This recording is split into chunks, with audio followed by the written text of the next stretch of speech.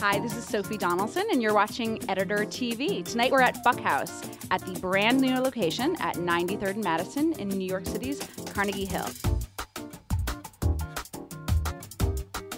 I always love the name of the, you know, it's just so perfect. Buck House to me is Mayfair in London, and it's just wonderful. Deborah, what's this? Just another thing that followed me home. um, this is a um, hand carved, turn of the century, arts and crafts period uh, garden folly. So you're obviously a very good shopper if you were able to, to nail this down. Um, can you tell me about a couple other designers that you might work with who are A1 shoppers? Uh, my friend Eddie Ross is a fantastic shopper. You know, when we shop together, it's very interesting. We each come home with things that, you know, we probably wouldn't have come home with Right. if we were on our own. So you guys have done a lot of shopping, I hear. tons of shopping. We've done articles for House Beautiful. We've done um, stuff for the blog recently. There's a big post about Buck House up on eddieross.com. fun. recently, I found a 1920s um, gilded bronze chandelier um, for my dining room.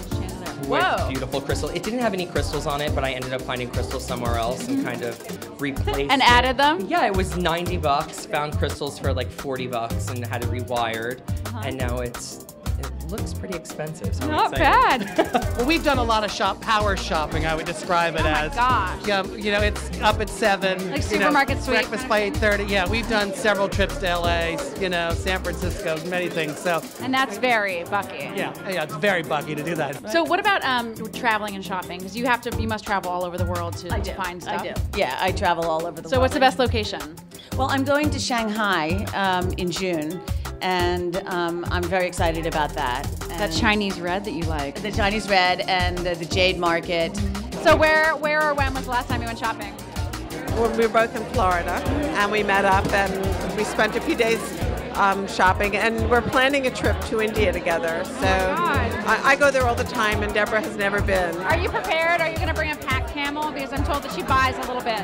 Yeah, I, I think so. I think that they have elephants there. They do, and maybe Yeah. a caravan type thing. Uh, yeah, exactly. Okay, get ready, world. Deborah, Deborah Buck is on the way. Thanks for watching Editor TV and helping Elle Decor and Deborah Buck celebrate the opening of Buck House. For more fabulous event coverage, stay tuned to editoratlarge.com where you'll find Editor TV and more from me, Sophie Donaldson. Thanks for watching.